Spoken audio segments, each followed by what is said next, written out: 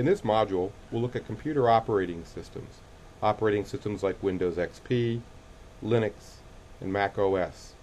We'll see what the operating systems do and give a brief history of some of these operating systems that are in use today. We've seen that computer hardware represents the data and instructions as ones and zeros using transistors. We've looked at computer hardware where the transistors are grouped as chips on, on boards, and we've seen the various formats for representing data in binary, such as JPEG and ASCII. Here is the computer's operating system. It's listed as system software. Software that comes with your computer to control the hardware and provide a user interface for you to interact with the computer things like deleting files, moving files around, is you using the, the operating system's user interface to interact with the computer. Also, you use computer programs, programs like Microsoft Word and games. They work with the computer operating system to work with the hardware on your computer. The main function of the operating system is threefold. It runs programs, programs like Microsoft Word, games, instant messaging applications. It provides a user interface for you to do things with files and to control aspects of your computer. And it manages the hardware. It allows you to set the screen resolution, install new devices. Now again, the operating system is software. It's really a program running on the hardware like any other program. But its job is to run programs provide an interface for you to do things like file deletion, file creation, and it manages the hardware of your computer. Let's look at how a computer boots itself. You've probably all heard the term that the computer is booting. Booting comes from the phrase pulling yourself up by your bootstraps, which means to independently start yourself without help. So when a computer is turned on, it independently starts functioning, and its functioning involves getting its operating system working. The operating system is stored somewhere permanently, like all programs. Typically, it's stored on the hard drive of the computer. So booting, as we see here, takes the computer's operating system, which is stored on the hard drive, and moves it into RAM where it can execute like any other program. So booting is the procedure of bringing the operating system from the hard drive into RAM. And you see the copy is still kept on the operating system. Now I say that it's typically brought in from the hard drive. There's actually a hierarchy that the computer goes through looking for where the operating system might be. First, it looks on a floppy drive, if you have one, to see if there's an operating system on the floppy drive that it can use to put into RAM and boot. If it doesn't find it on the floppy drive, typically next it will look on a CD. And the last place it looks is on the hard drive. Take a moment and think why the computer would look for the operating system on devices in this order. The reason is that the primary operating system that the computer uses is stored on the hard drive. Almost all the time, a vast majority of the time when you boot your computer, the operating system is pulled off of the hard drive and brought into RAM. The problem is that if the operating system has a problem, say a virus or some kind of corruption, and it itself becomes inoperational, then the entire computer doesn't work. So the computer is set up to first look for an operating system coming off an external device like a floppy or a CD so that a clean operating system can be brought in and get the, get the computer up. This is why that when you buy a computer and it comes with CDs that are either called restore CDs or sometimes called operating system CDs, that you keep the CDs because they are a pristine copy of the operating system that will can always bring your computer back to life if there was an operating system problem. Let's take a closer look at some of the purposes of the operating system, running programs, providing a user interface, and managing the hardware. Now running programs we're not going to look too deeply at.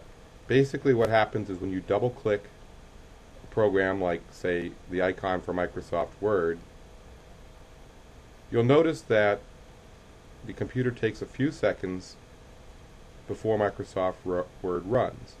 During this time, the operating system is finding Microsoft Word's program as it resides in the hard drive and bringing it into RAM, and then starting the execution of Microsoft Word.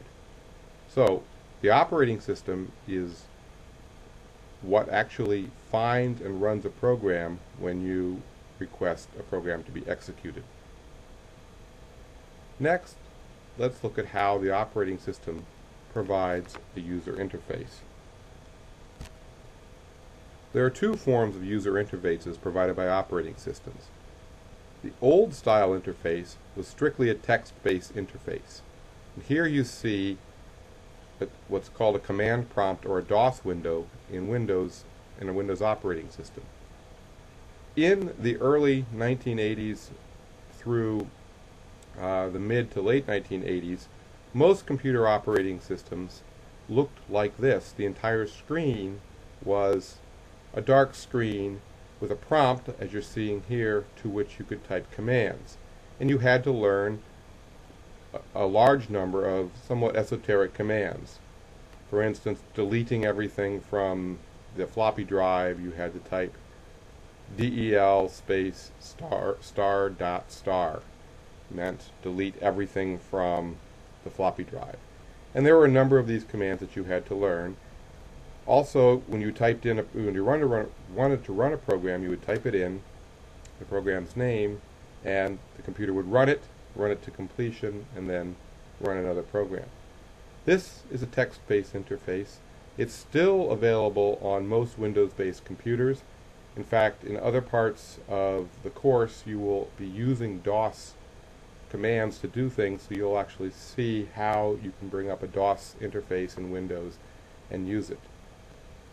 The most prevalent form of e interface is called a graphical user interface or sometimes called a GUI. This is what most people work with and is probably familiar to you. A GUI uses something called a WIMP paradigm, windows, where there are multiple windows in your screen, icons, little pictures for things, menus of commands, and a pointer controlled by the mouse specifying where action is going to occur on your screen. Again, a vast majority of you will interact with programs through a graphical user interface, although there are still some uses for text-based interfaces in DOS-like commands that are still used in some aspects, and you'll see that some Linux operating systems still use primarily a text-based interface. Now let's move on to look at the final aspect of the main purpose of an operating system, how the operating system manages your computer hardware. And there are three classes of computer hardware that we're going to discuss. How the operating system manages your CPU, how the operating system manages the RAM, and how it manages all other hardware. Let's start with the CPU. The operating system manages the CPU using two ideas, one called multitasking and one called time sharing. The idea is that modern computers are so fast and so powerful that most of the time the computer is sitting there saying, what instruction do you want me to do? What instruction do you want me to do? It's sitting there idle even if you have multiple instant messages going on, you're playing an MP3, you're surfing the web, you're typing a term paper as fast as you can, 99.9% of the time, the computer is doing nothing. CPUs are that powerful. So operating systems seek to take advantage of that by allowing multiple things to run on a computer at the same time.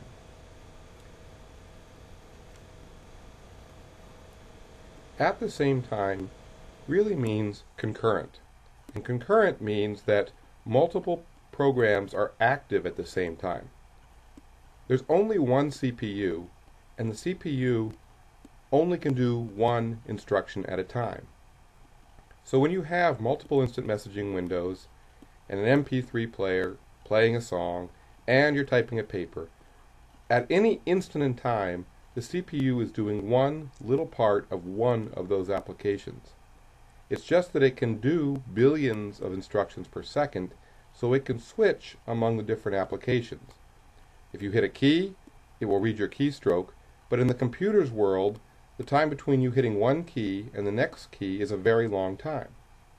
In that time, it might swap out Microsoft Word that was reading the keystrokes and bring in the MP3 player to play a note of your next song. It then might swap out the MP3 player and check to see if an instant messaging application has a message that's come in. It can do this all very quickly. This is called multitasking, where the computer has multiple tasks that it's doing for a single user. A similar idea on more powerful computers is called time sharing. And time sharing is where that CPU is shared among different users. For instance, the Computer Science Department web server can serve multiple different requests coming in from all over the internet for web pages. Two people might request a web page at the same time, and they might both get it back very quickly, thinking that they had exclusive use of the web server. In actuality, the web server is serving part of the page to one person, and then to another person, and then possibly other people. It does so in a round robin fashion so that each person gets service that appears to be exclusive because the computer's CPU is so quick that the operating system can make it look like each person is the only one using the computer. The operating system manages RAM using a technique called virtual memory.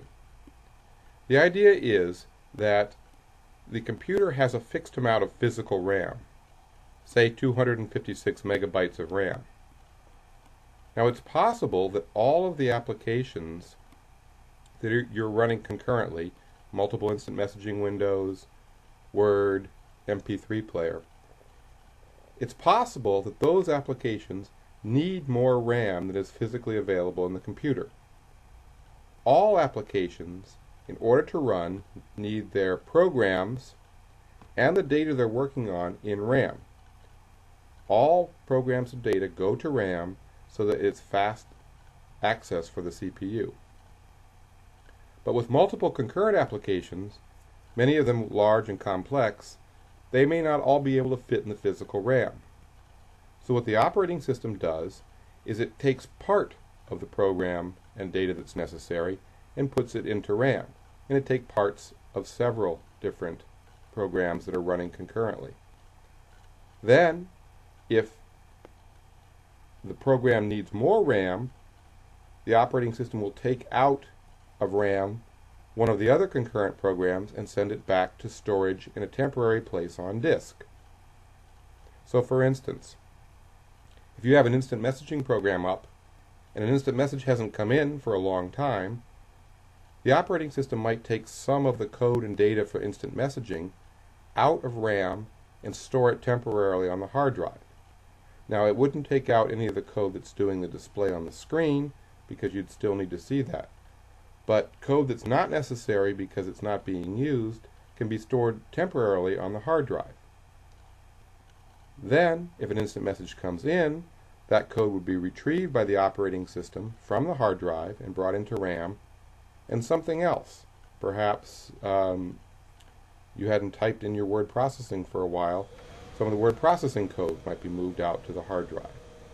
This idea of swapping active programs from RAM to the hard drive temporarily so that you can get more concurrent programs running is called virtual memory. Now, virtual memory allows more concurrent programs, but at the cost of speed. If you had more physical RAM in your computer, then the operating system wouldn't have to do this swapping in and out and each of the applications would run faster. Your computer manages all other hardware using something called a driver. A driver is a piece of code that goes into the operating system to control a specific device. So there are drivers for Hewlett-Packard HP 1500 printers. And then there's a driver for the Hewlett-Packard HP 255 printer. There's a driver for a Canon digital camera to allow downloading of pictures from the digital camera to the computer. There's a driver for a Kodak digital camera. It's different from the Canon digital camera driver. Each piece of hardware needs a driver so that the operating system knows how to communicate with that piece of hardware. Typically when you buy some hardware, a digital camera, um, a scanner, um, even a monitor or a keyboard or a mouse, typically the hardware will come with a CD that has the driver on it.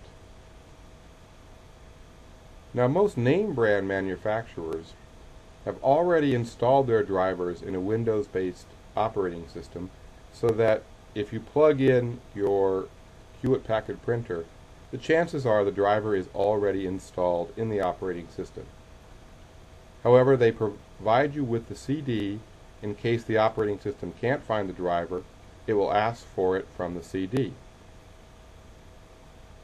Again, most name brand manufacturers also put all drivers for their hardware on their company website for free download.